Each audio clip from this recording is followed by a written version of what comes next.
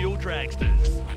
And the drivers that steer them are on the outer limits of motorsport.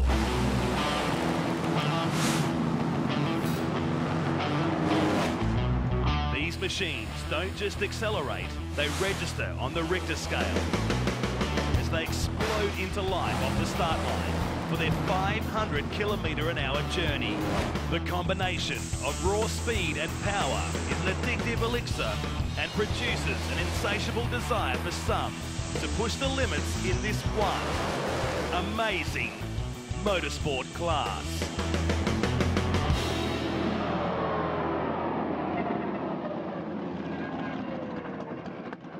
Since 1965, Santo Rapisarda has been part of this drag racing thrill ride and has lived the addiction.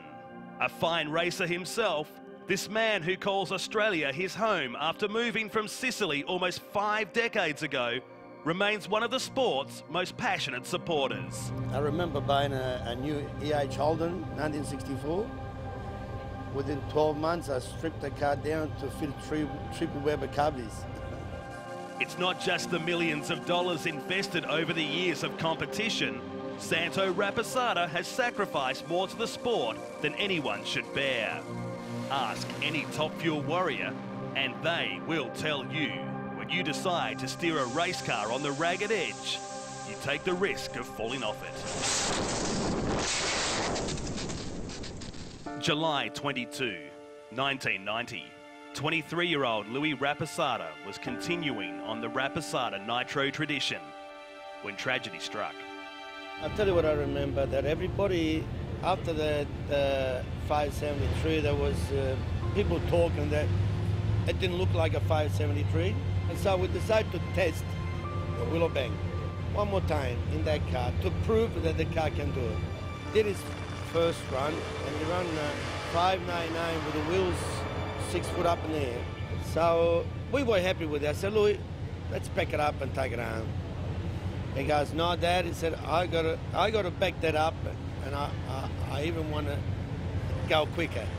And that, that was the last run. He was, uh, uh, blew the engine up. There was not nappies in those days. There was straight. Some oil got under the wheel, and uh, the car pulled on one side, as you probably know already. That was it.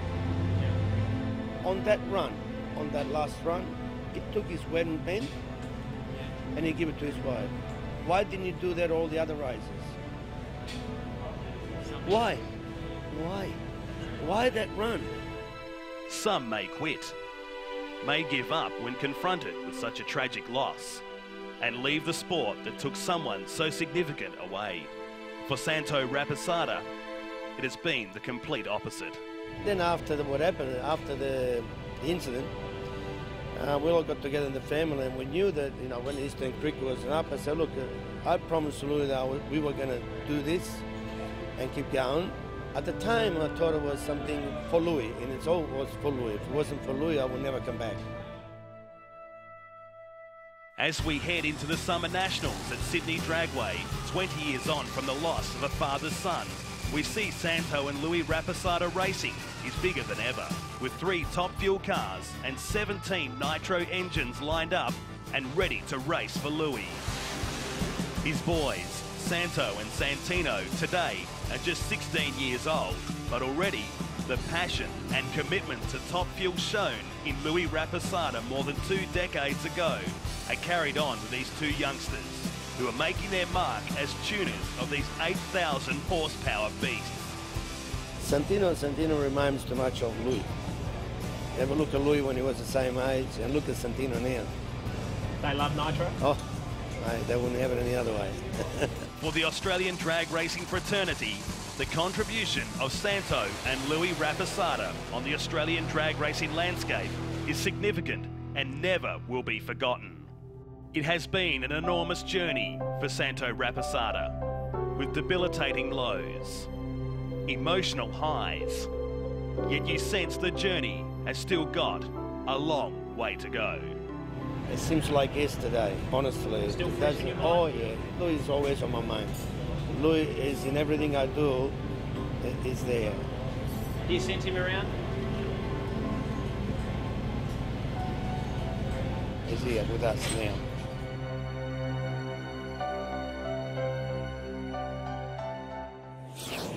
Top Fuel Final, Andra Pro Series opener for the fastest accelerating landlocked missiles on the planet.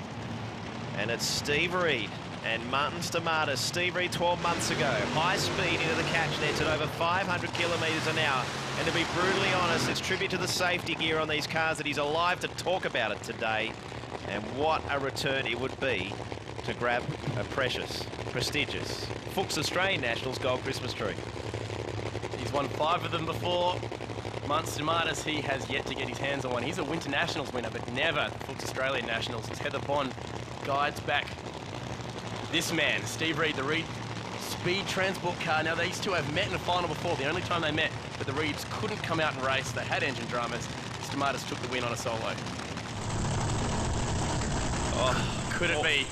I've heard of some fairy tales before, but this would just be ridiculous. The good news with this, it'll be a fairy tale either either way. Munster Martis, a likeable guy, but I think we'd all celebrate with a palm if he can pull this one out of the bag after the setbacks he's endured. The final of Top Fuel at Western Sydney Dragway.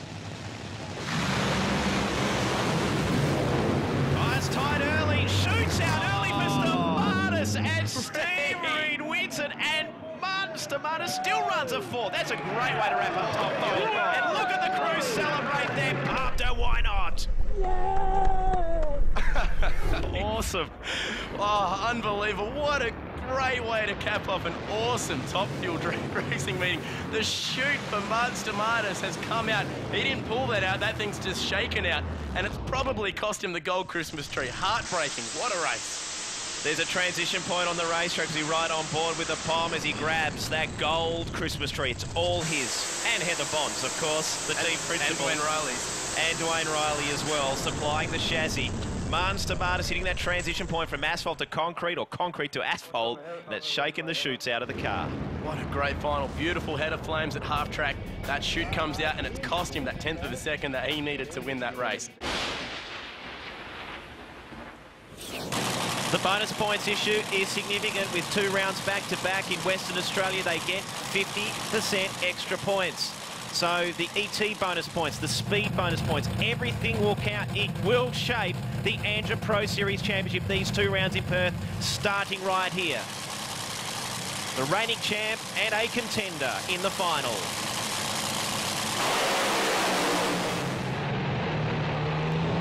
That's it.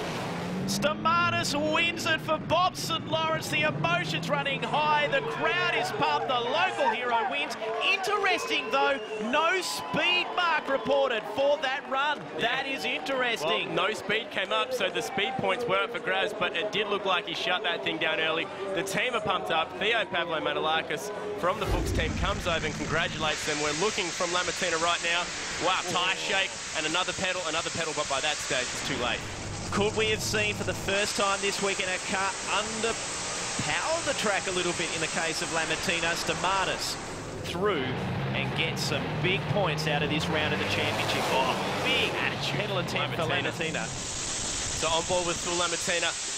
Just it around here. Tyre shake gets off it, has a stab. You've got to give the tyre enough time to settle down. And I wonder in the other lane, did Martin Stamatis feather the throttle? Oh, just a bit. Subtle twitch to the butterflies. But the confidence is coming back to the West Australian. This is a wicked on board. We're riding at over 500 kilometres an hour, typically in a top fuel dragster at the Perth Motorplex. And that is big points. And we know Bob St. Lawrence will be grinning like a Cheshire cat on the start line with what's happened in this final.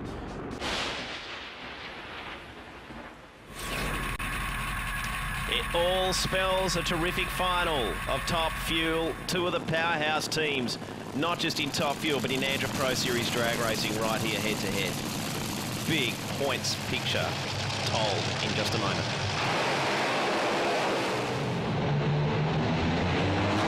Well, Chad nailed it. Phil Reed was brilliant off the start line, but Phil Lamattina again, that is five runs down the track and five brilliant four-second passes, and that's the quickest one we've seen for the weekend. What a way to slam the door right shut. Low ET and in a lane that they haven't raced in yet tonight. That is awesome stuff. Phil Reed takes that right lane, but that thing put a cylinder out really early. Riding on, wow, look at that fuel spraying from the get-go. and Phil Reed was almost in front of half track with that brilliant NZ reaction time. But as the car started to eat itself alive, Phil Lamattina drove around him. That was probably an injector line going to the supercharger hat for Phil Lamattina, and uh, it looks like, yes, it pushed the head gasket out, and it was around cylinder number eight, the area of the engine they were looking at when they were grinding that pushrod hole. So maybe it was the difference in Perth. Yeah, the uh, the golden arches on board cam showing how much Phil Reed goes for as a driver. Left of screen, so it already put that cylinder out, and then all that excess fuel is still wanting to be burnt. The head gasket goes out, causes a big fire, throws off the belt, and it still drove through for a 4.8. They've had a good race weekend.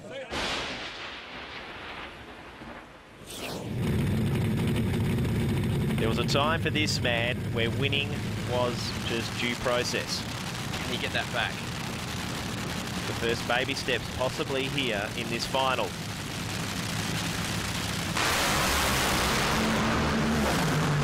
Stamatis out early, tosses the belt, Phil Reed breaks the streak, the winless streak, back to that familiar W territory and the crew are happy.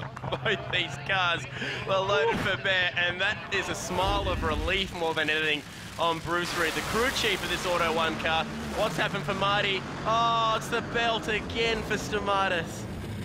What does he have to do to keep these things on? And that was a signature slide valve problem there for Phil Reed. Left well, left hard, and then chaos on the back half of the run. Uh, it looks like a classic lean out. Look, left to screen. Whoop, there it goes, throws it out the other lane. Head gaskets out for Phil Reed in the Auto 1 car. Leaves well. Well, they're both left very well. 8.6 and 8.5s off the 60 foot, so they're really strong. And might I just mention, Munster Martis' reaction times this weekend have been flawless. You can see Phil behind him there. He oh. left hard and talking to Rob Cavannino as well about the supercharger and the blower belts. They are going to have, they've already talked about it, a newer blower belt package heading into the next round.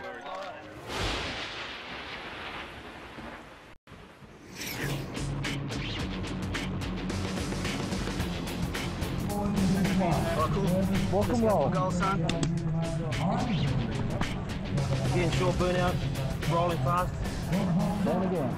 Great drag racing action as part of the Andra Pro Series. Thanks to Auto 1 and NZ. And we're now down to the final two cars in top fuel. 7,000, some say more than 8,000 horsepower. They launch quicker than their space shuttle. Enormous G-forces. And that was a short burnout for Phil Reed, just quietly. And a typically short burnout for Mark Mariani. The reason they do that, you can use a lot of fuel in the burnout. The last thing you want to be doing is dry reaching at the end of the racetrack when there's no fuel left in the tank. These things will just simply lean out and explode.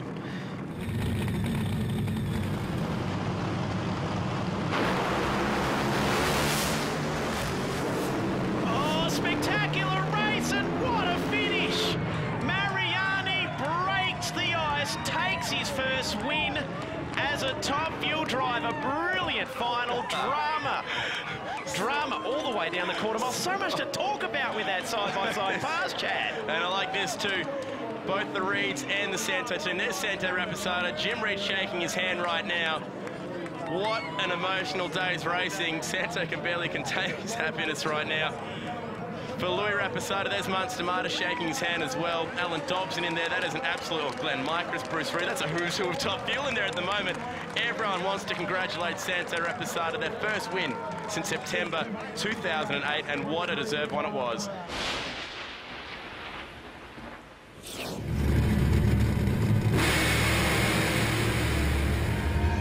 No other motorsport like it in the world. You step on the throttle. and you've got this violent race car hurling you down a racetrack at over 300 mile an hour, 530 k's an hour. People stand on the start line, thought an earthquake had hit. Show me another motorsport in the world that does that. You know, you've got the high revving Formula Ones, the low grumbling V8 supercars. You've got the flame throwing top fuel cars Ruskevich. Every time you step on the throttle. Look at the distortion of the tyre. That is incredible. Have a look at that sideways half track at 300 kilometres an hour. He's looking at concrete. Oh, geez, fire in the hole for both cars. Look at the. Man, these guys are absolutely crazy. There's no way you're going to lift until you see that wind light come up. We race to win. If it means I've got to take out my teammate Martin Stamatis, I will. You know, but hey, that's racing. Stamatis out early, tosses the belt. Phil Reed breaks the winless streak. I have no fear of losing. We, we've come into the event and uh, my attitude is let's roll the dice and, uh, and just see what happens. Better end reaction time for Dodson. It's awfully close at the finish line, but Stamatis wins it by the narrowest of margins. Oh yeah, we're back. Winning another championship, obviously, uh, going to be great. Something that you can say you went back to back. You know, if it, it's going to happen, it's going to happen. But if it's not, it's not. You know, you can't. The more you want it, sometimes uh, the more it slips away. Red light for Luke Shepard. He might have, uh, well, huge tyre explosion Oh, for Phil Lamattina. What has happened there? This season's been uh, up and down, like a yo-yo, honestly. Wow, that's, that's popped the motor and something's come out of the motor and gone right through that rear tyre. Could be anything. We haven't really had much success, just the one win. So this year did, really didn't go like it did last year, that's for sure.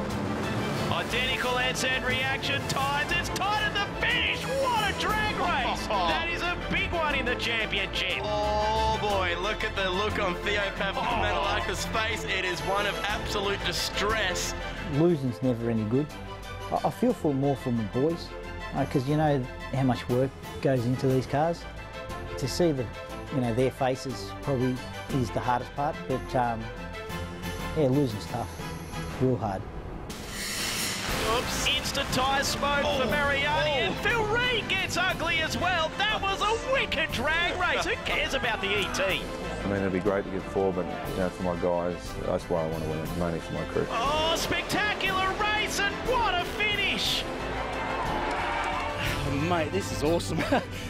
Like I said, winning was good, but um, sometimes it's not all it's stacked up to be, that's for sure. As far as having a fear of losing, you know, it's, hey, it's life. You win, you lose. Everyone loves a winner. Winning the Andra Pro Series crown is, is the pinnacle of drag racing. I could not want anything better. The final of Top Fuel, and on the anniversary of a famous moment for team principal Jim Reed at this very racetrack. It's time to fire up and see who takes out the Andra Pro Series. Phil Reed's been here three times before. Martin Stamatis. It's great to have him right in the mix at this late stage of the season for his first Andra Pro Series champion, if he can win this race. But for Phil Reed and their team, they've had issues every single run, and, not, and including the lead into this final. Nice big burn up from Marty. Phil follows it up, gets a little bit sideways at the end. He's been on fire. He's been blowing up parts. Both of them have been blowing up parts. And uh, they had a mad thrash to just get the car ready for this final, changing out the diff and all sorts of stuff. But they're here. That sun has dropped, so the chin-ups will change just a little bit. This is the seventh time they've met. They hold the ledger equal at three each, but Phil Reed's won the last three. And if he's going to win the championship, he needs to win this race and go quicker than 4.60 or faster than 508 kilometres per hour. Round one for Phil Reed. The toggle switch, the arms, the air system broke. The semi-final, they had a lot of fuel coming through. The slide valve shut completely, and they had double the normal fuel volume you need or normally like to have off the start line. Then they had the issue with the diff, and that means basically dismantling the back end of the car, including the rear wing. So they've been thrashing. They had to replace all the hydraulic lines, double check. It's been a monumental effort for both teams because we saw with Stamatis, he had some big issues after his semi-final run.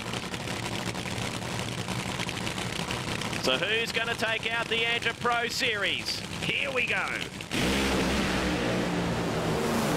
Trouble for Phil Reed on the step. It's eating up a little bit for Martin Stamatis, but on the strength of this weekend and the season, a deserved Andra Pro Series champion. Fire in the hole.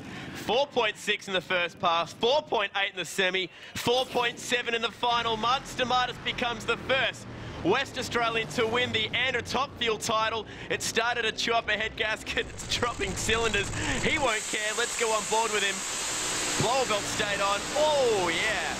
Burning out aluminium and all sorts of parts. Always catastrophic at the end of the day, but well done. History in the making. As Chad touched on the first, look at that vision. It is incredible. Big fire for the Bellevue car. But this man's so passionate, so aware in the history of the sport. You can see the fire Trying glowing behind him. But it is historical. A big year. He comes into this event with Bob St. Lawrence deep in the etches of his mind, a West Aussie drag racing icon, and a West Aussie finally wins Top Fuel. On goes the hat from Paul Gates from Shannon's. He is the Shannon Shootout champion. He's the Pro Series champion. He's also $25,000 richer. Monster Martis, congratulations. Your maiden, your maiden Pro Series win, but your second Internationals win. Fantastic. I can't, words cannot describe this moment. It doesn't just get any better than this, and this will always be my most memorable moment of drag racing. It just can't get any better than this. Thanks. And to drive for Jim Reed, I can see you're choking back some emotions right now, matey. You've had a long season. The Bob St. Lawrence drummer in the middle of the year. You had your Bob St. Lawrence jacket on. You won in Perth for Bob St. Lawrence. Is he in your thoughts today? He was in my thoughts all weekend. I, I pulled the jacket out of the wardrobe and uh, decided to bring it over and carry Bob's name into the weekend. And um, if you're up there, Bob, started in Perth and uh, we finished here. Thanks, mate. Matey, congratulations. Thank you.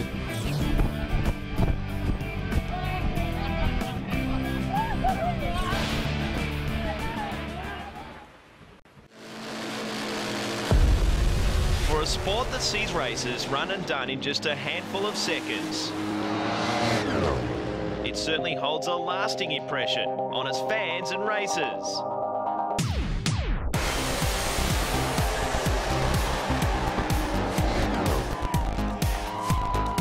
Aussie drag racing icon Gary Phillips knows the game that must be played in the high-performance supercharged world of top alcohol drag racing.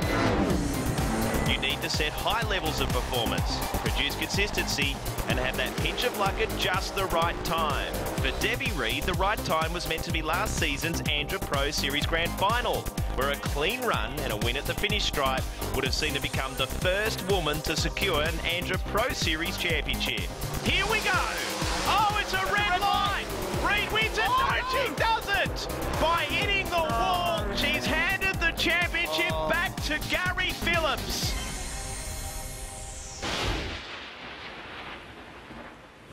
Through the first round, the second round, and now through to the final. No massive changes there. Checking the valve clearances, everything's fine. Check the bearings. All they've done is change out into 8 to 10 litres of oil between each session, and that's it. Well, from night to day, or day to night, depending how you look at it, for Stephen Reed, they have been thrashing. Obviously, we saw in the Rare Spares pit report for the Retransport Funny Car, it has been a battle to even make the final, which is a shame. We Lo- want to see this car run well. Who could forget last time these two met in a final at this racetrack? They're in the very same lanes. And it was Stephen Reed who had a monumental accident. Phillips went 5.5 and took his first funny car win. But our business right now is two wickedly quick funny cars. A Lucas car, the Retransport car. Gary Phillips has got one eye on a national record. That's the first tick. The second tick for the Lucas car will be a 5.4 second pass. And they're starting each other's rivalry off nice and early. First round of the Andra Pro Series. Who's going to get first blood in top alcohol? High revs. Big end reaction time to Reed. He's losing momentum. Gary Phillips, 552 with a Ford national record, if you don't mind, in the Lucas car. And the speed, 417 kilometres per hour. That's 259 mile an hour. He has just missed both sides of the national record. His earlier 555 backs up the 552. It looks spectacular on the new Willowbank scoreboards. Harley Davidson replay, he gave a 10th to Stephen Reed in the NZ reaction times and had to chase him down. And I think Stephen Reed's done a lot of damage to that engine. Replay, and you see the sparks on the underside of that funny car for Steve Reed. But Gary Phillips, strong run. The fire extinguishers have gone off in the retransport funny car. Well done, though, to Gary Phillips.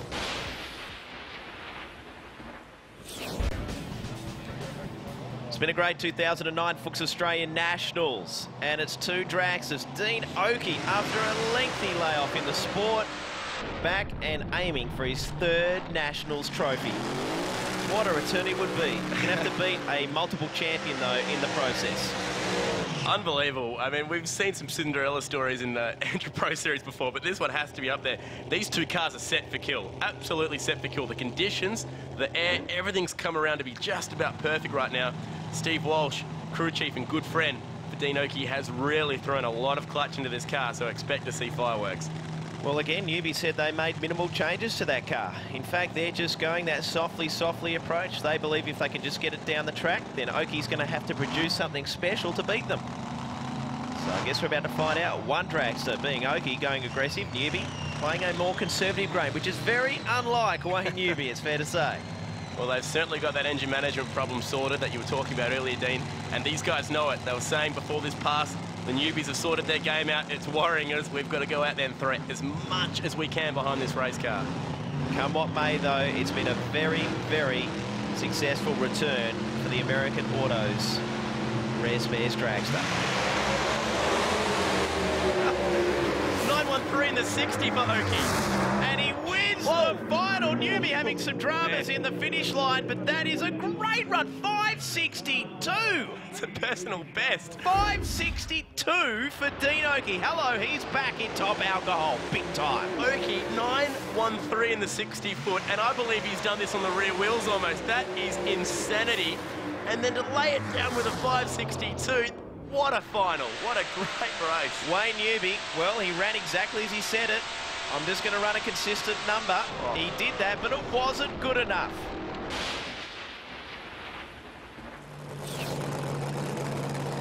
It's a strange matchup for these two. They've never met before. They're both looking for their first ever win. It's only the second time Canooly's been to a final. This is Marchant's first ever final. Can he hold up to the pressure? I loved John Canooly's candor in the Rare Spare Speed Report with my co-announcer saying, oh, we tested in Sydney, we tested in Willowbank. What it underscores is the commitment of this team in the ANDRA Pro Series. He really wants to get that first professional round win. And with the bonus points, it will shape him up very nicely in the championship. And this final for Marchant has kept his championship dreams alive, regardless of the result. This for their first ever win. This for Canooly to lead the championship. Both cars are in.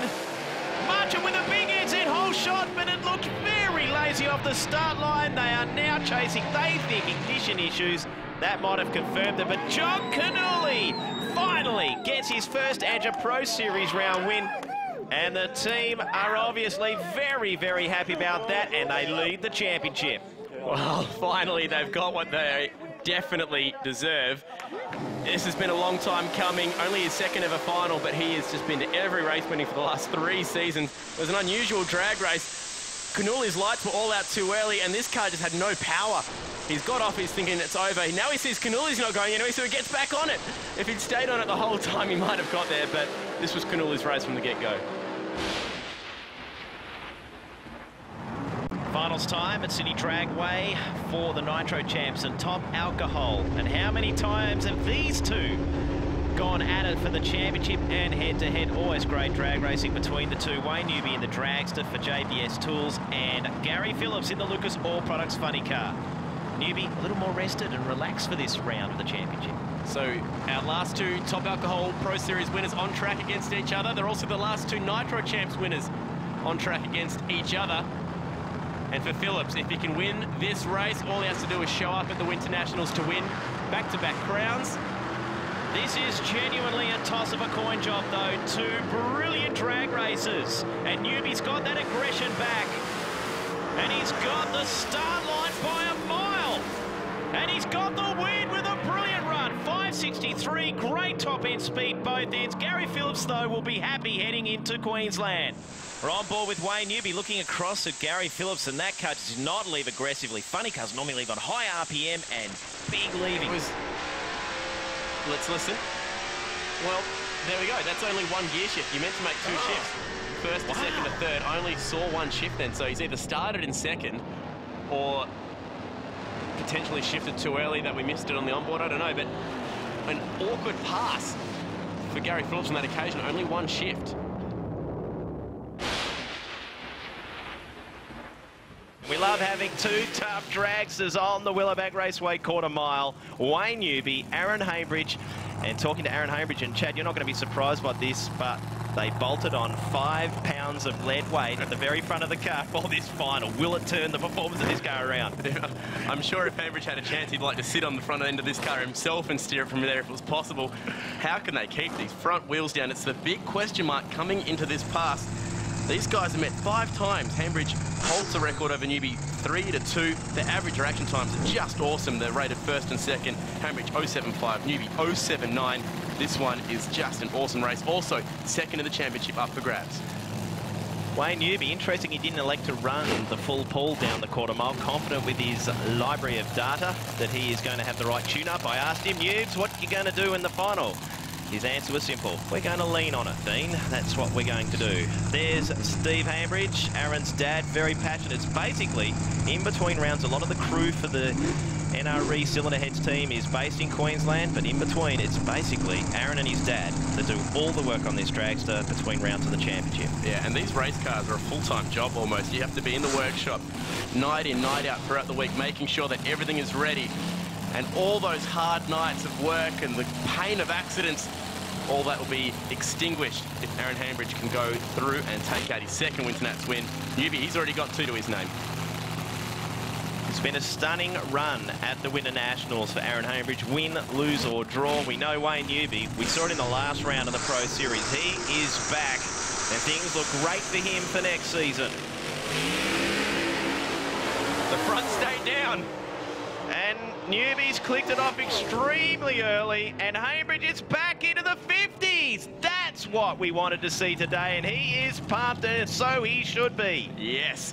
Winter Nationals champion. He finally gets a win on the board in season 09. 2010, what happened, Wayne Newby? Shannon's replay. Did they throw too much power at it?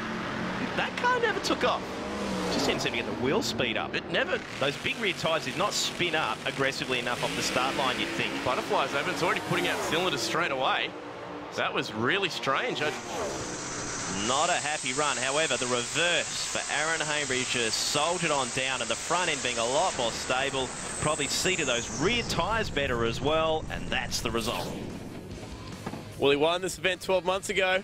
Somewhat controversial matters. This time around, though, there is no doubting that Aaron Hambridge is the Winter Nationals champion.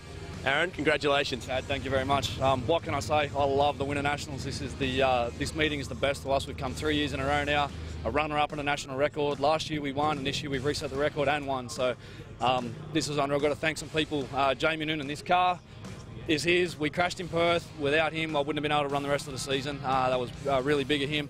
Uh, Faber Australia supply us with really good parts to get the car running. Um, a special note of Gary Bohr, the guy from America who actually owned this car before we came out. He's been uh, out here this weekend giving us a bit of a hand, so that's been really good. But um, yeah, all in all, great weekend. Well, there's a few more months left before we start next season. Enjoy them and uh, enjoy tonight. I will, thank you.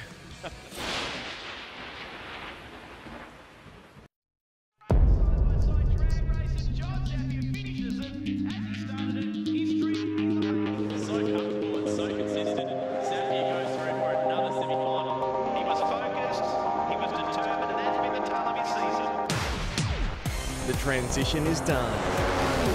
The process is now complete. In top door slammer, John Zappia has moved from upstart West Aussie with a wild reputation to a back-to-back Andra Pro Series champion in the fastest accelerating sedans on the planet. At first, many of John Zappia's rivals were supportive of a man who had raced more on emotion and passion than finances for more than two decades, with no series championship to show for it. Suddenly, last season, however, things started to change with the striker car winning another Andra Pro Series crown.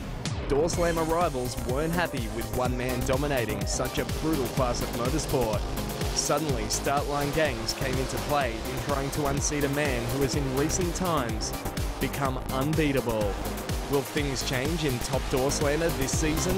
Or will once again John Zappia lead the field in his way at over 400 kilometres per hour? John Zappia, fresh combination. The conditions Be a little interesting as the air cools down. The track has cooled down some as well. Into pre-stage, Zappia on 20 race wins, closing in on the all-time record of 24. 0.981 to the 60 for Maurice Fabietti. Big moment for John Zappia. Goodness me. What happened there? That is enormous. Fuel pouring out of the front end of the striker car. This is a monster accident. Maurice Fabietti takes the win, ends the win streak, and Zappia is moving inside that race car. A oh. monumental collision with the concrete wall head on just before half track.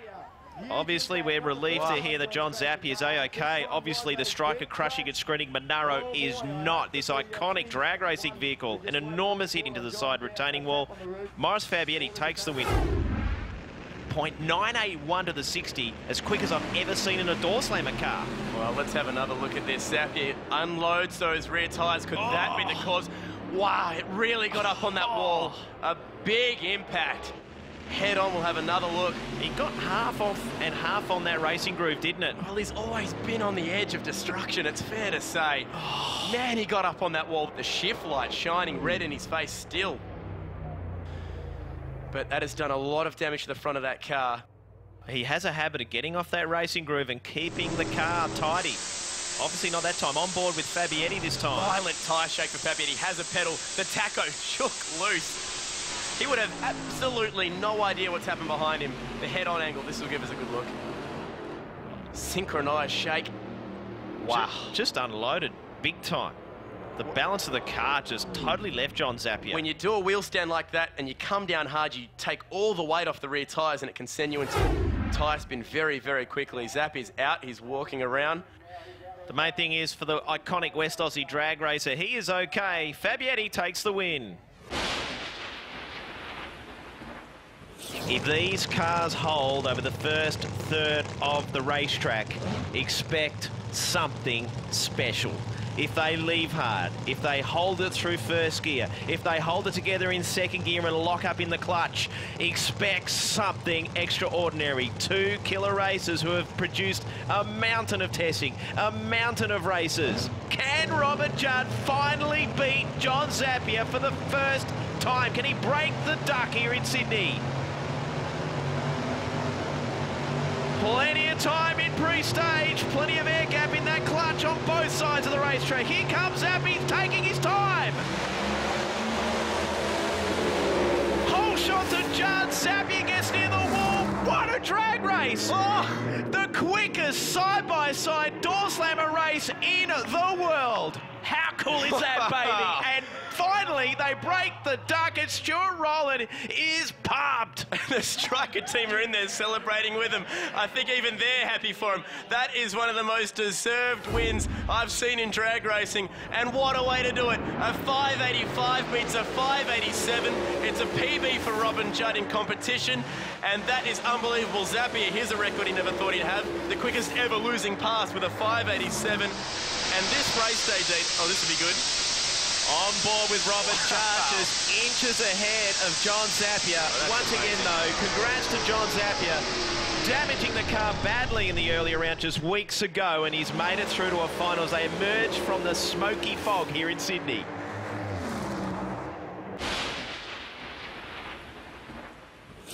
Fabietti, the crew looking a little apprehensive. He's got the pre-stage light on. He was in pretty quickly. Still waiting on Judd. We'll see if Fabietti's going to bring the revs up. Who's going to be first into stage? He did complete the burnout, did the Holden Trade Club car. Revs are up. But now they're down. Judd's revs are up high. Fabietti's not. Judd's in. Waiting on Fabietti. He's not going to go in. Oh, that's No, he's- break. He's waving inside the car. He shut it off. It's all Judd. Wow. It's a mismatch. It didn't happen. And a 587. Well, Maurice Fabietti needed his A game. That is a great way to take out an event win. That's two in a row for the likeable West Aussie. Tough break for Maurice Fabietti. Obvious concerns with the engine area of that car. Living to fight another day. So it's I'd uh, rather drive the Studebaker than push my Holden on this occasion. the Studebaker of Robin Judd takes out the Golden States Taylor through first gear. A great lap of 587. This is what happened inside Fabietti's car. This is the Holden Trade Club car, and there you go. The RPM back down and switched off. Alerting the starter, no, I'm out, I'm gone. So tough break for Fabulous. But speaking of Fabulous, it's been a great event remembering Robin Judd walked a tightrope in qualifying.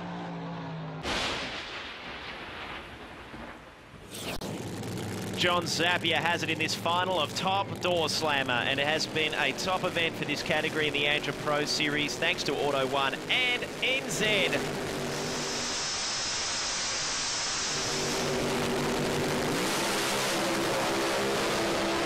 Better NZ reaction time to Judd, but he steps out of the groove and Zappia wins it, knocking on the door of his national record zone. That is a smashing win. Welcome back to the winner's circle, the striker crushing and screening team. Victorious once again. It's Zappia's second Western Nationals win, denying Robin Judd out of the groove. Minimal tyre shake. That's all Zappia needed.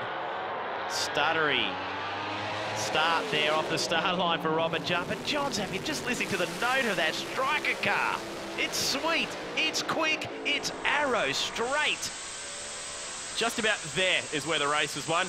Judd got out of that groove. It started to shake around. Zap simply drove away from him.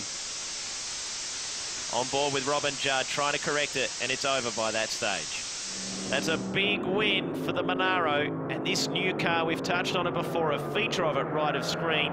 It still moves around a little bit, but it doesn't move anything like the old striker car. Big win for Zap.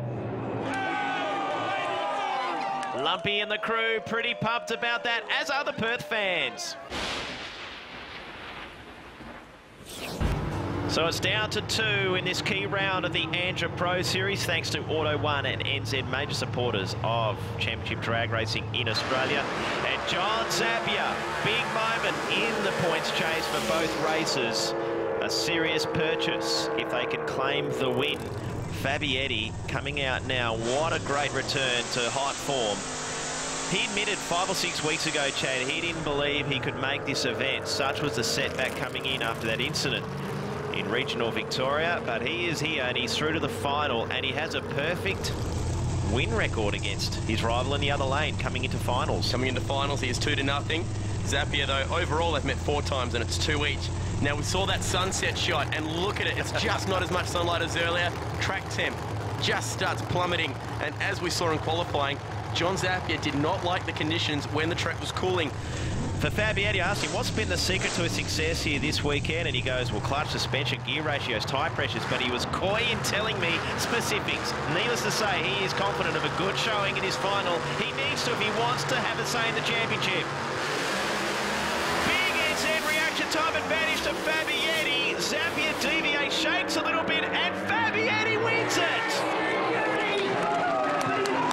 What a result. Championship is alive in the Pro Series. This one is going all the way to the Winter Nationals. Maurice Fabietti, unbelievable what they've managed to do to get back to the racetrack. Look at the team, absolutely jubilant with all their efforts. 594 in the final. Zappia's run of fives on race day comes to an end.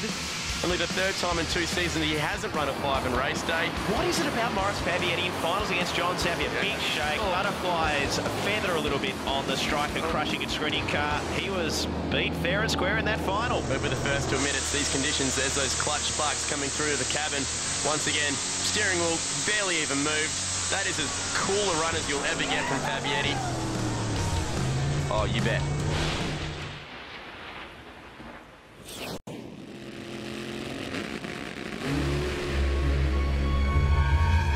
Top Door Slammer is a very unpredictable bracket. Huge moment for Gary Phillips. The tyres exploded. He clouts the wall. In drag racing, luck is a big part of it. How did he avoid Maurice Fabietti? Amazing. Performance is, is one thing, but you've got to have luck on your side. Oh, big problem for Matt Abel. Look at that man handling the car. That was a wicked drive job. What is it going to take? You know, it's just anything can happen. Who knows? Big moment for John Zappia.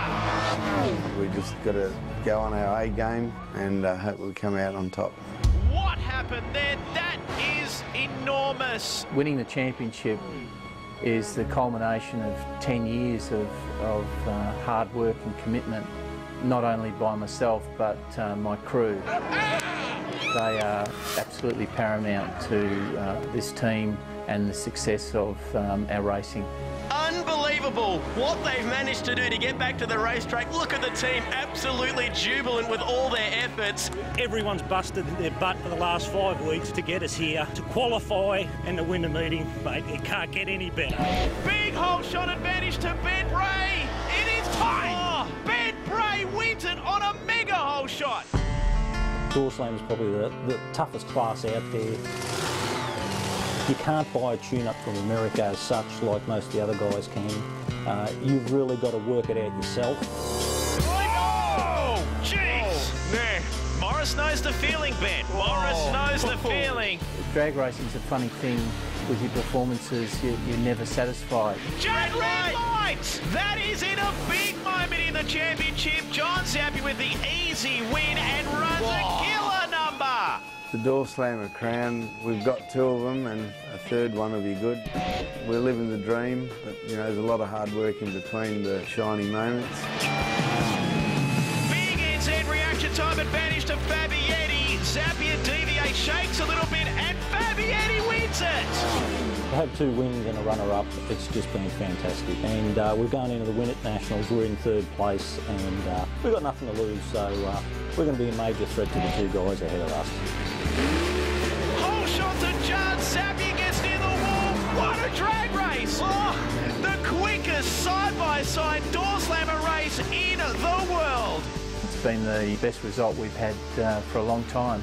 And then it's only been the last uh, two or three years been able to claw my way back. We'll, uh, we'll chase it uh, as hard as we possibly can. Better NZ reaction time to Judd, but he steps out of the groove and Zappia wins it, knocking on the door of his national record zone. That is a smashing win. To win this one means three in a row and uh, I don't think that's been done for a while and it's just, you know, we want to stay at the top. Welcome back to the winner's circle, the striker crushing and screening team. What a result! Championship is alive in the Pro Series.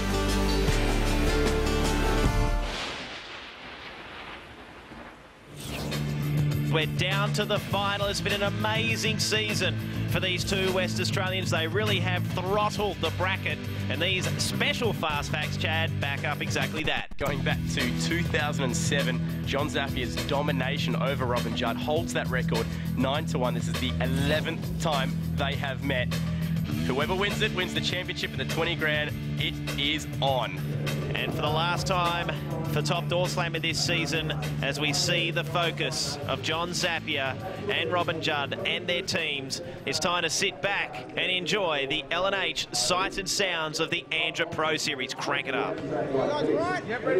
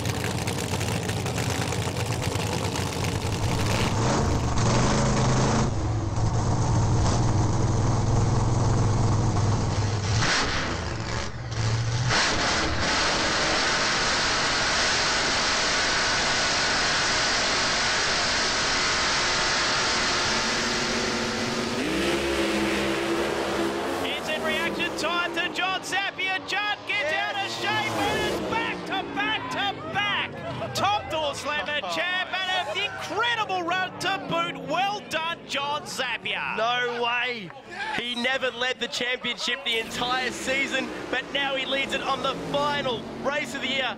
Fishtailing down the drag strip and nailed to the start line. Robin Judd's dream is over. He will be the bridesmaid for a third season. Zappia drove it away from that centre line and another Pro Series win. Over the season, this is how tight it has been. 12 round wins apiece, but the one that counted went to John Zappia. It's been such a long journey for him, and now he's won three of them after so many years without success. And Robin Judd can take heart from that, that he too can still dare to dream to win a championship. Unreal. Oh, look, we got too many things to hang on to here. oh, fantastic. Like, just like to thank Striker Crushing and Screening for giving me this opportunity to to go professional with this car and to use his car all season. But uh, all the crew, they've just worked their butts off all season, rebuilding the car with a crash at the beginning and coming from behind all the way, working hard. I mean, it's the best ending for drag racing that had to happen on the last line of the last point.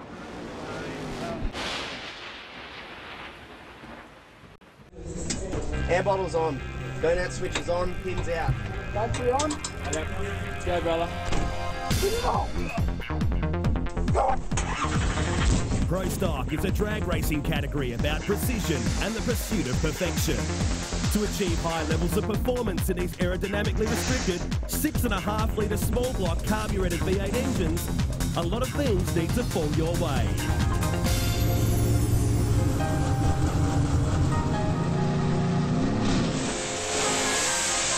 Set new levels of performance in Pro Stock, it is often Mother Nature and the condition of the racetrack that will provide the final say.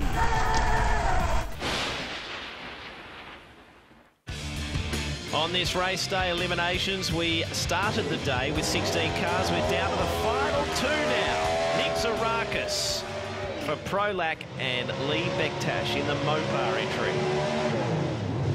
Who's been stuffed over into the left-hand lane, which, well, has been coming around getting a little bit better as the racing has gone on. Seems just to be the Pro Stock cars that have been struggling with it so far today. A lot of the other cars have been struggling with both lanes. Now, Nick Zarakis, two years ago, was rated number one in the average reaction times, and last year it was this man who was rated number one in the average reaction times. This race could well be won and lost on the start line. Zarakis has been going left every time he's touched the accelerator pedal, and nobody in this left lane has uh, been really comfortable. So, interesting little matchup. Zarakis today, Dean, has had the slightly better reaction time. Nick Zarakis telling us earlier in the paddock that they've got a new engine a freshened up engine ready for the next round of the championship. The engine in this car now is over 12 months old. And in Pro Stock, that's a fair while. And how about Lee Bektash? He has been to three finals now, four finals in eight race meetings, I think it is, and well, he has to win one of these eventually. The poor guy lost the Winter Nationals to Shane Tucker. He's lost finals to the Tremaines. Is he due now? Nick Zarakis, as we touched on earlier, stripped this car down to the bare chassis, went back to front, front to back. The only thing they didn't change was the distinctive fluorescent paint on this car between the last round of the championship and this vital round here at Western Sydney. Another interesting note, Zarakis has been very quick during the day. It's now night time. Could this hurt him? Here we go. It's going to be Fuchs, Nationals champion. The RPM sounded just a little low. Identical NZ reaction times. Is still denied a win, but Nick Zarakis has carried the performances today, no question. He's been the man to beat, and it's netted him an Andrew Cole Christmas tree. Let's see the launch again. Carbon oh. copy straight to the left of the groove. But amazingly, it hasn't cost him. What happened to Lee Bektash in the other lane? You heard something. Yeah, the radio comms through. Apparently, Lee Bektash could not get the car out of the limiter for the burnout, so the motor would not run above 8,800 RPM. They don't lock up the clutch until after 9,000 RPM, a lot of these cars. So much for trying to hit those shift points if you can't even get there. He will be absolutely livid with that. So, Lee Bektash looking for his first pro stock win up against the two-time champion. Bektash does not want to become the first person to lose three finals in three race meetings. He knows what it's like to win six in a row, but that was in super gas, a sportsman category, a feeder category, up to this level. Well, the barometric pressure is awesome. The air temperature is damn awesome. We've referred to that. And the humidity, there is none. What are we going to see in this final? 13 cars, down to two. First time ever at the Perth Motorplex. Waiting on Bektash.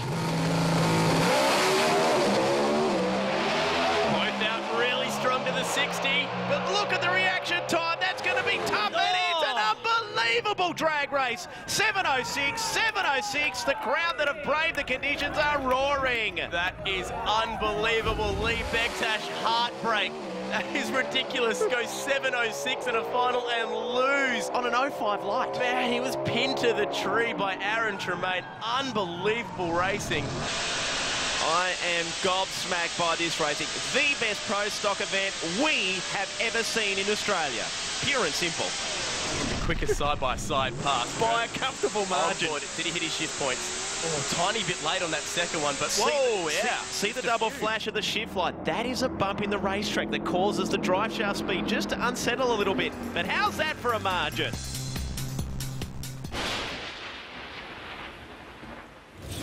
Well, this should be a beauty.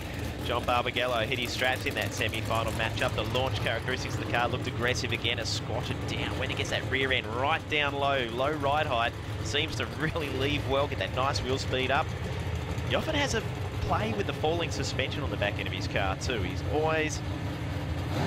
I guess it's a walking, talking, living, breathing dyno, this car, for him as part of his JB Automotive business. Well, that's it. And this is actually the sixth time he's come up against one of his customer engines. His 60% win record against them could be uh, up for grabs here because we know how quick Newcomb is. He has lost the last two races against his customer engines, but he does hold a 1-0 record over Newcomb. They've never met in a final, though. I think these two would just be delighted to uh, square off in the final, and it certainly keeps both in the Andra Pro Series point score picture as we head to Sydney for the Nitro Champs, and of course the Winter Nationals, the big grand final of the Andra Pro Series. Check out andra.com.au for more info. You don't want to miss those events. Pro Stock will return to Willowbank Raceway in June for the Winter Nats, like you mentioned, Dean. It is going to go all the way to the very last round. Three-stage lights are on. Will there be a bit of a staging duel? Not really. Once again, JB gets the job done off the start line, but he loses traction. It's all over. Newcomb, first win in Andra Pro Stock. Well done. Former Rocket All-Stars champ in Super Gas, and he's nailed it. He's broken through. But Barbie had him off the start line. Then you see the wiggle just short of 330 feet. That cost him at the end. He's just been dicing on the edge of traction all weekend, and it's come back to bite him in the final. So I'm saying that the track, the groove's a little narrow, narrower than we're used to seeing at Willowbank, and you had to really place your car on the right part of the racetrack, Chad. Well, that's usually a result of the track being so good, because none of the cars been getting out of the groove to make the groove Exactly. wider. Yep, yep. Oh, slightly late oh. change in the fifth there for Newcomb, but he's drove such a good race meeting. He's deserved that win. Well done, and he's pumped in the car. Well, there you go. Shift, miss shift. Ah, it's all over. But plenty of points for John Barbagallo out of this round. Watch left of screen, the white car. And that stuff really shows up in the data when you're going through that much wheel speed. And he felt it in the car pretty quickly and knew he was all over on the hot streak this weekend for the Brisbane Isuzu car. Good job, bud. I rattled. Did Good ya? work, eh? Just as well, man. I pulled third way early. Did you? yeah, no, you don't. Ah, beauty, eh? Yeah. Awesome. I think I hosed you on the tree, but. Yeah, you would. What a climax this is promising to be. Aaron Tremaine and Dave Newcomb. Newcomb holds the record 2 to 1 over Aaron Tremaine. And if you believe in history, and will it repeat? Well, the last two Sydney Dragway meetings, both the Tremaines have been eliminated by the same driver. That is exactly what Newcomb's looking to do here. The reaction time, Taylor, has been interesting in the Nitro Champs for Pro Stock for these two races. Looking at the reaction times so far for Aaron Tremaine, 0.072 in round one, 0.051 in round two, 045 in the semi. So progression, but a better progression path for Dave Newcomb. 078, then an 029 in round two, then a 0.012 in the semi-finals, which leaves Chad an interesting average reaction time, Tail. Yeah, well, they both came in with a .022 light. Tremaine slipped to an 032 light. Newcomb's just three thousandths of a second better. So, man, we're talking about a sport here, guys, that is separated by thousandths of a second. And those couple of thousandths of a second could make the big difference at the finish line. That is certainly the prediction from us two in here at the moment. Can you can go back to back? Dave Newcomb always looks pretty cool, calm and calculated, but geeing himself up, making the final preparations, making sure he knows where that Liberty shifter is, that he's going to make his procedure bumping into full stage correct. Aaron Tremaine is the only driver to go back-to-back wins in Andra Pro Stock. Can you can join him there and maybe deny him an extra 20 points in the Pro Series? You just feel this sort of championship surge, don't you, with Aaron Tremayne? It's been a familiar one in recent seasons. The imprint that the Tremaniac team have left on this category in recent seasons cannot be questioned. Can he deliver? Oh, brilliant instant reaction time. And a disappointing one by Newcomb's lofty standards. And a costs him. Oh. Whole shot win. What a final. 7-1-1, 7-1-1. But the slower time by a thousandth wins it. Man, that is incredible. Dave Newcomb, he will be kicking himself. There's nothing worse as a driver to be beaten to the finish line when you had the quicker car. 7-1-1-9 against the 7-1-1-8. It was won and lost at the tree. The A-Train is headed for the last stop, the Winter Nats. Man, what a great race. Been an awesome season once again, but Dennis Whiting, it'd be great to see him strike through here as well. As he's fired up, ready to burn out. Well, it's a big ask. Last time these two met, it was the 09 Nitro champs and Whiting lost that one by nine thousandths of a second. He did his best on that occasion. He'll have to do his best here again. Can Aaron Tremayne join his two-time Winter Nationals winning brother, his Winter Nationals winning father, and cap off another great Pro Series? Speaking to Dennis Whiting, he was grinning like a Cheshire cat in the pits, and why not? Uh, he knew with this new configuration, new engine combo, and now the generosity too of the uh, Tucker fraternity and getting him some fresh racing rubber They've seen him really incrementally improve his performances here today. He knows he needs to do a slew of testing in the off-season, yeah. but already he's getting a bank of good data, good numbers to really come out swinging next season. Well, as far as privateers go, he's one of the bigger ones. He does have his own dyno uh, availability in Toowoomba. Uh, did a bit of pre-winters dyno work himself. And now it's just a matter of figuring out those gear ratios. Chatting to him, he's pretty happy now that he's run that 706. He knows what it takes to go fast. Once you've done it once, that's when you can hopefully keep doing it. And boy, does he need it here and a better than average reaction time because his average reaction time is a few hundreds down on Aaron. Aaron Tremayne, a lot of R&D in the off-season as well, perfecting the cylinder head technology in these amazing engines, pretty even at the tree. Oh, 0.9 in the 60 for Aaron. When that you go below one, you're flying, and he does it. What a season, what a result. His first ever Castrol Edge Winter Nationals crown for the three-time champ. And he does it with a 704 at 193. Kerry Tremayne is absolutely elated with that one. He can't believe it.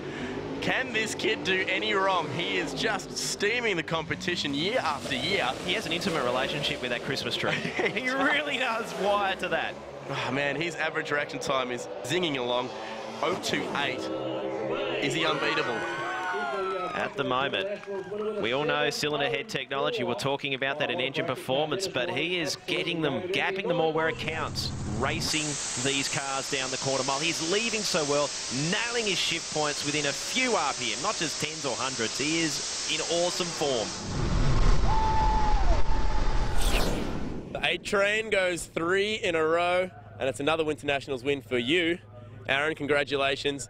Another gold Christmas tree. A perfect season, just about. Yeah, mate. Uh, what can I say? It's just been a great day today. Been a great weekend. Thanks to Willowbank Raceway for putting on such a great event. Thanks to my family, all my crew. Couldn't do it without them. All my sponsors, Deco Glaze, Fuchs, Tremaniac Racing, Stephen Fox Homes, just everyone, NRE who helps us out. We're going to get this new cylinder head on this thing and we'll see if we can come back next year and be better again. Six seconds. You want to be first? Oh, I'd love to be first, man.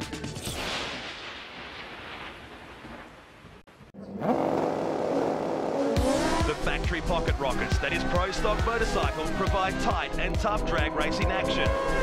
Now that was a tight drag race! Fuchs Australian Nationals in Sydney, we welcome a full field of the precision machines which always produce tight racing. It was tight off the start line though, and it's going to be tight at the finish line.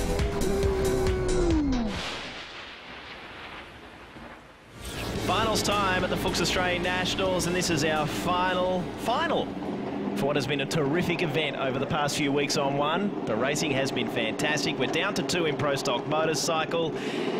This is a real toss of the coin job. And who would have thought with Maurice Allen coming in, well, on the hot seat, on the bottom half of this qualifying sheet, up against Andrew Badcock. The Speed Cycle Suzuki, the place to go if you're looking for custom motorcycle parts. And the Gribbett Reverse Auctions Suzuki of Andrew Badcock on debut for Trevor Birrell up against the man who won this class at the 91 Nationals 18 years ago. You suspect a tight finish. Oh, Badcock seemed to linger from first to second gear a little bit. It was tight off the start line, though, and it's going to be tight at the finish line. Oh, Badcock gets it. A 35 over a 38, and oh my, margin of victory. 54 ten thousandths of a second. Is that tight enough for you? That's when you really dig pro stock motorcycle. That is the closest pro bike final we have, or the closest pro bike race we've seen in years. What a way to cap off the Fuchs Nationals. It's been a great event, and that marks it with a stamp. Michael Gilbertson and Phil Howard. Okay, well, there's a, a, couple of droughts that we're looking to break here. One is the Michael Gilbertson drought. Yes, he's the defending champion, but he didn't win a race meeting that year or the year before, so he's looking to end his personal drought here. The other drought is the Kawasaki drought. You've got to go back nearly three seasons to find the last time a Kawasaki won a pro stock motorcycle. Good light for Bluey Howard. And it's going to be Gilbertson to chase. He did the mid-track steer job oh. again, and it's a squeaker at the finish line. Howard just gets their whole shot win, wins the Wow. race with a slower elapsed time. Wow. That happened again, Chad. Watch the front wheel on Howard. It's going to be hard to see. We might see it from Gilbo's bike. He just disappeared in front of him, took the narrowest of wins. But these guys have saved their A game for the very last race. They said it was going to be a matter of who can hold on the longest. Right of screen. Right of screen, watch the front oh, wheel again. At high speed, he's doing that, Phil Howard, corrects it. And that's very smart and savvy riding after his struggles in qualifying, and that's the margin of victory, well and truly less than a full bike length. So on board from Howard. What a great drag race to finish off what's been an incredible pro stock motorcycle meeting.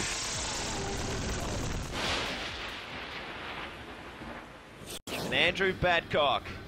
The third rider for Trevor Birrell to ride at Willowbank in the last two seasons. And he'll be the third rider to win at Willowbank for Trevor Birrell. Trevor Birrell, the owner, standing right behind and crew chief. Ross Lemberg could not contest this final after junking a motor. And this is a great pass. It's actually hmm. low ET of the round, 732. Wow, Badcock.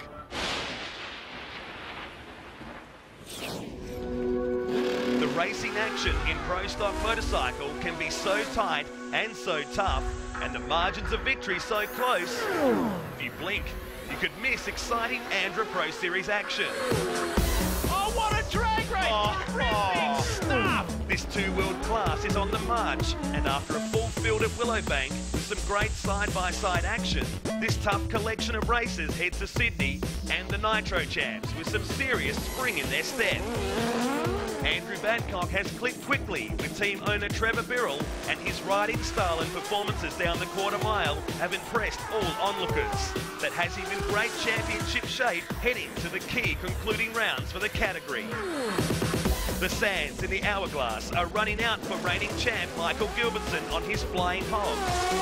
And Sydney must represent a return to top line form, or his Andra Pro Series defence will be in tatters. Interesting little matchup this one. Andrew Badcock and Phil Howard both have only lost once this season, but Howard's championship was really derailed at that last round where he failed to qualify at Willowbank Raceway. They've only met once, and it was Badcock on that occasion who did take the win. But when we're checking the form guide while we're at it, Howard does have the better average reaction time. We've seen how lightning he can be at the start line. We've alluded to earlier, Badcock has been very, very good in terms of his alertness at the shift point. Has been right on it, and Trevor Birrell's confident they've made the, the shift light adjustments to really suit his riding style. A new clutch set up this season, and now the 60 footing really well. Went 1.0 in qualifying session three. If they're around that vicinity once again off the start line, we should see the maximum package of Pro Series points for the Dutch Master bike. To have any hope of the title, Howard must win this race. NZ reaction time advantage, big time to Badcock, and that's a big scalp. And he takes the win with a good run. Howard, tough break, 7.53, but the Dutch Master team in the lounge chair for the championship now. Well, let's just hope that they stay in the lounge chair and then go to the Winter Nationals and not the not the hospital, not the maternity ward, because that's all that can steal, amazingly, the championship away from Andrew Badcock at the moment. He just has to rock up to the Winter Nats to claim his maiden title. Still flared that right knee out a little bit early into the run. Just stability on the bike, maybe. Oh, there you there go, right there. yeah. Well, see, the 726 that he pulled out in qualifying, still the best pass of the weekend. Finals time at the grand final round for the Andra Pro Series, the Castrol Edge Winter Nationals. Pro Stock motorcycle action. Peter Cochran has been awesome so far at this event, and Phil Howard will really need to be on his A game to defend the event win he took 12 months ago. Now, how about this? This is the first time we've had an all Kawasaki final. We had to look into this one. Since the 1990 Nationals at Ravenswood, it was Phil Howard in that race. He lost to Ray Eason. Kawasaki's back in the sunlight. This is his third consecutive Winter Nationals final. Talking about Peter Cochran, he took one of them.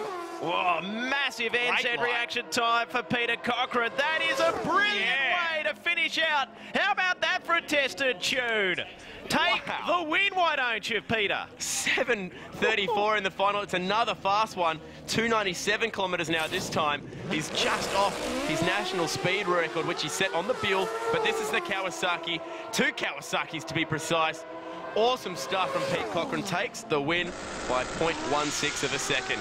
Just rode away from him. The Pegamore's DAP electrical team would be very, very happy with what they've seen. This team have been together a long, long time, and that was an outstanding run. They've been spending a long time with Craig Thompson and the Jack Brothers crew in refining that engine. Well done. Well, Pete the Punisher Cochran, welcome back to Victory Lane. You could not have picked a better race meeting to do it. The Winter Nationals, congratulations. Thank you very much, mate. It's fantastic. Um, it's all it's all the crew, all these guys over here. My good friend Craig Thompson. He's been doing a lot of development on the bike with um, Jack Brothers and uh, Tony and Gavin Eels at Serco have come along and helped us out with some special Wiseco pistons. And here we have it, some power, and we're in the finals. Thanks. That's it, mate. Look at this beautiful Kawasaki. Serco really got helped you out this season, and it's getting quicker and quicker and quicker. This weekend really proved that, and an all Kawasaki final too. Yeah, it's fantastic having all Kawasaki final. We're all Kawasaki fans. And yeah, yeah, we're tipping on the record. It's 188, so we're getting closer.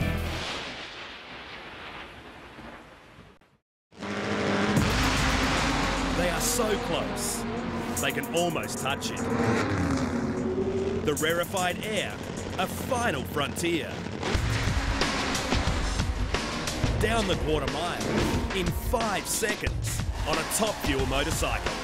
Five seconds, two wheels, and almost 400 kilometres per hour. For both Jay Upton and Chris Matheson, they are within one tenth of a second of achieving two-wheeled immortality by being the first to achieve the feat in Australia. If we do it, we do it. We're hoping to do it like it's, it's up there on the goal list, and uh, hopefully it happens sooner than later. Otherwise, we might miss out. Obviously, it's a huge thing as an achievement in top fuel bike racing is be one of the few people in the world who can run a five, and the first one to do it in Australia, first one Southern Hemisphere, etc., would be a great thing. One is a seasoned champion who has tasted the highs and lows of this unforgiving game. The other is the new boy on the block who entered the sport with a clear goal and already understands the dangers of his pursuit. The local hero and emotional favourite. Matheson, the high-flying businessman with a low-flying hobby. Both chasing that dream of the first five-second pass. And both will do whatever it takes during the Western Nationals at the Perth Motorplex to achieve that dream.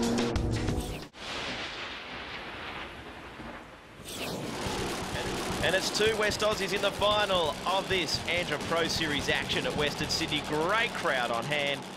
And once again, we'd like to thank Auto One and NZ for supporting Pro Series action on 1HD. Motorsport in high definition, Jay Upton. Both riders have been a bit out of control this weekend. Uh, look at this, they're staging and pointing left. That's interesting. So this is the way they've combated it. The bike is pointing slightly towards the left. Certainly been impressed with his short times. This older chassis had been sluggish off the line. It hasn't been that case. Oh, oh huge NZ hold shot.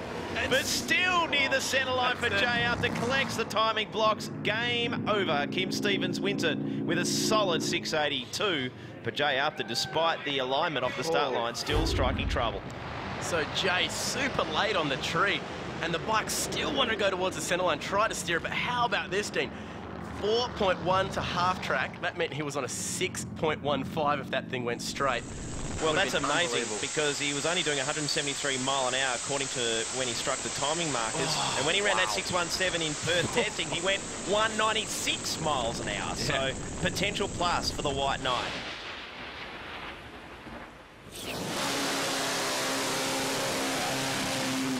Oh yeah.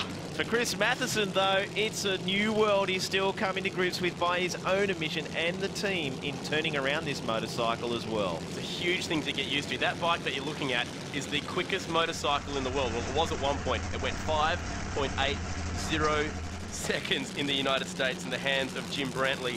At the time, it was a world record. He hasn't gone five seconds on it yet. Nobody has on a motorcycle. This man, Jay has gone 6.11.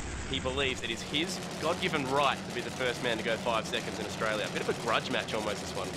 Big final this one. Could Jay Upton better his national record that he has established at this event? Can Chris Matheson take it off him and claim the win?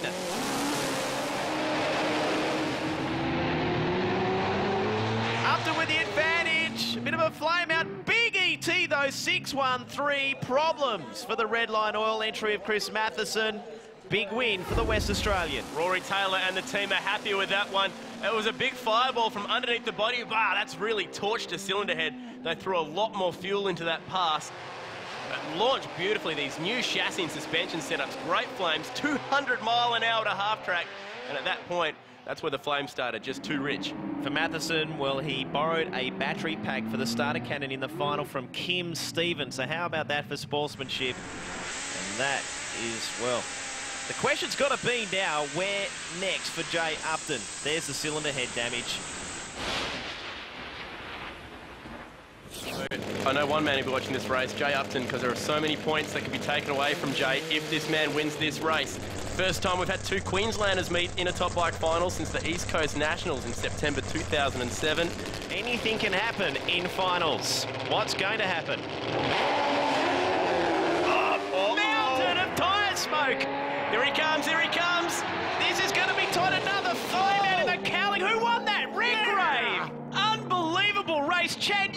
alluded to it in the pit report, and look what happened! Oh, that is that is the biggest underdog win I've seen in the Pro Series. Right as Green Matheson smokes oh. the tyre on their hit, and Redgraves runs and runs and runs. It's turtle and. Whoa, he was smoking that tyre to quarter track. 23 thousandths of a second at the finish line. That is the most amazing win I have seen in the Pro Series today. What was that coming off the bike? Unbelievable drag oh. race to finish up. There you go, the catch, the pedal. We know Upton is a master of it. Matheson getting better all the time, and he was nearly good enough to pickpocket a win against Redgrave. Left of screen, what's come off this bike of Matheson's? He smoked the tyre for that long. Watching, watching, watching, he's back on, he's got full flame, full throttle, and it just was throwing fiberglass off it. I reckon it's broken that body with the amount of tyre smoke, 23 thousandths of a second. One more race to go, and it is the final of Top Bike. Chris Porter, can he cause an upset? He went to the final of this event 12 months ago, but it was Alpha Williams who took the win on that occasion. He's up against a bike that is just as quick. Chris Porter has been very consistent, always lurking, and has impressed many, including my co-announcer, in his riding style and ability. Chris Matheson has excited us right around the country in the Andra Pro Series so far this season. This multi-cylinder, nitro snarling beast is staring face to face with a five second reality at some stage, you would suspect. But he wants the win here. Oh, man, that bike looks so good in the evening. Rolled off it really early. Porter, gee, made a late Oh. charge, but it wasn't enough. 691, that was almost beatable there for Porter. Couldn't get around him. Porter on his A game definitely could outperform that number, but well done to Chris Matheson. Nice fluffy flame early. Porter off early, maybe dropped a cylinder. Being a V-twin, that's 50% of your horsepower gone. Well, we're about to find out exactly what did go wrong for Porter. There's the foot on the foot, Peggy. He's been riding this bike well, but it, it was just sluggish the whole way down. It did get a little bit messy in the braking area too. Look how violent. His shoe scraping on the ground. So violent, these bikes, particularly the Harleys. And Chris Matheson carrying it nicely on that rear tyre. The nose is over at half track. Half track for a 691. This bike has so much potential left. This man could finally nail a new performance benchmark. Five something seconds in the quarter mile. Is impossible. The conditions are there. Well, to put it in perspective, the half-track time that Chris Matheson has recorded is similar to what we see out of Robin Judd and John Zappia and Doorslammer. Mm-hmm. They run strong 5.8s, but because he can't quite get to the finish line, that's why we haven't been seeing the five-second passes. Now, what does he do here? Does he chase that five? The track conditions are backed off a little bit. Don't want to smoke the tyre. It's strong. Drew across the centre line. That definitely hands it to Matheson. And look at that number, 6.05 with that run. Ah. National record, quickest in the Southern Hemisphere. And with that moves into the top 10 quickest runs in the world. Well, I was wondering where he was fitting in on that list, and that is awesome. Top 10. Look at that Drew on the right-hand side of that tyre. Pushes him across the centre line. Matheson backed off way before a thousand foot. Before three-quarter track. Watch this. His helmet will go forward. Off it cruises home. He's had an outstanding and astounding eighth mile speed marks throughout this event. Well, I was talking to you after you won your first race on debut, and I'm talking to you after your first Winter Nationals win, a 6.05 national record. Chris Matheson, a great season. Well done. Yep, thanks very much. Uh, big effort from the team. The guys have really, really done a great job all through the year. We've, we've had a few ups and a few downs. Uh, in particular, Roger Blaw, uh, Graham Turner, all the way from Perth, Bruce McDonnell, um, all the guys. Um, our sponsors, Glenford Tools, uh, Rocket Industries, uh, RB Performance, and also a special thanks to um, Larry and Steve McBride from the States. And uh, and we dedicate this. A close friend of Rogers is, is sick in hospital, uh, Chris in New Zealand, and mate, I hope you get better. Thank you very much.